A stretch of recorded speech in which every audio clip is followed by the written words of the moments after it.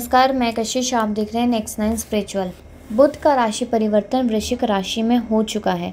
बुध अभी तक तुला राशि में गोचर कर रहे थे, लेकिन बीते 21 नवंबर 2021 से बुध अब वृश्चिक राशि में विराजमान रहेंगे। बुध का गोचर वृश्चिक राशि में 10 दिसंबर 2021 को सुबह पाँच बजकर तिरपन मिनट तक रहेगा। वृश्चिक राशि में पहले से ही ग्रहों के राजा, सूर्य और पाप ग्रह केतु मौजूद है। बुध का गोचर होने से वृश्चिक राशि में अब तीन ग्रहों की युति बन गई है। बिज़नेस लेखन वकालत और वाणी के कारक है बुध ज्योतिष शास्त्र में बुध ग्रह को नवग्रहों में महत्वपूर्ण माना गया है।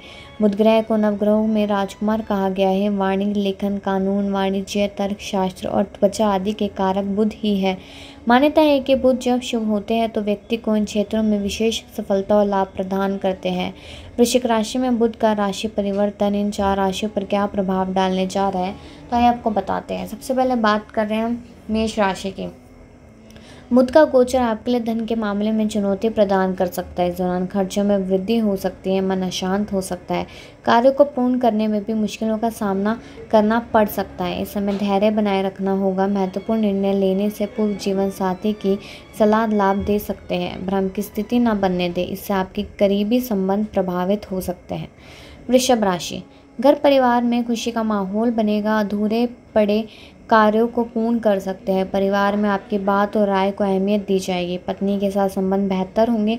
तनाव और विवाद की स्थितियों से दूर रहे। लव रिलेशन में उतार चढ़ाव की स्थिति बन सकती है। तर्क करने से बचे। विवाह में आने वाली बाधाएँ दूर हो सकती हैं। मिथुन राशि। बुध का राशि परिवर्तन, सेहत, धन और कर्ज आदि के मामले में मुश्किलें प्रदान कर सकता है। इस दौरान अपनी भावनाओं पर काबू करके रखना होगा। प्रतिद्वंदी सक्रिय हो सकते हैं।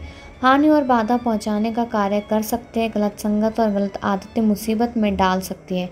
सावधानी बरतें, दान पुण्य के कार्य करें।